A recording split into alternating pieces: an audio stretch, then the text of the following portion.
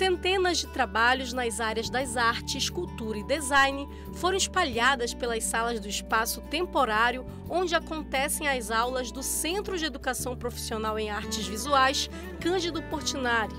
Tudo o que é visto aqui foi produzido pelos alunos do centro. É o caso dessa obra inspirada em traços orientais. O trabalho é do artista Natanael Batista. Ele é aluno do centro desde o ano passado. Natanael chegou no Cândido Portinari pretendendo fazer apenas um curso rápido, mas acabou ficando por aqui para aprimorar o dom que descobriu na infância.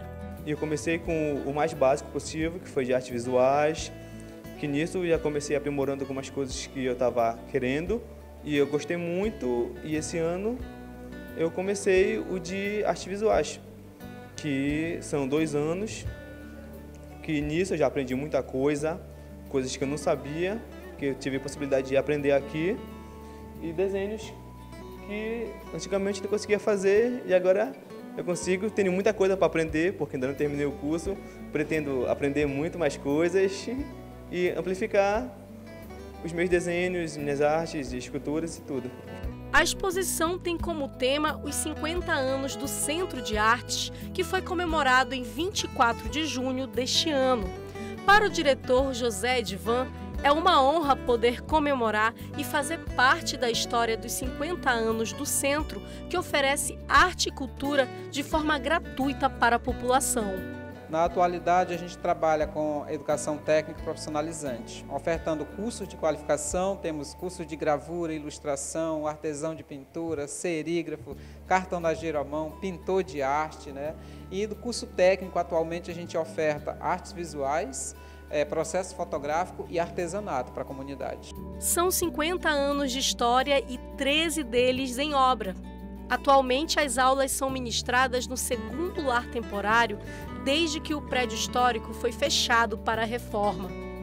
Foi aqui nesse prédio onde tudo começou.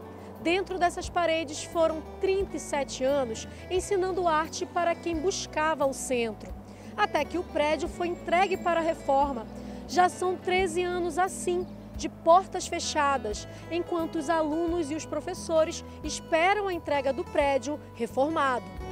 O professor Santiago dá aula no curso de gravura e conta que já passou por todos os prédios. Ele não vê a hora de poder ver o espaço tradicional de portas abertas. Nós passamos aí pelos três prédios, esse é o terceiro, mas o desejo sempre foi estar em casa, no nosso prédio original, né? E a expectativa é, voltar e a gente construir muita história né, nessa escola, que é a única escola que ensina arte pública da região norte.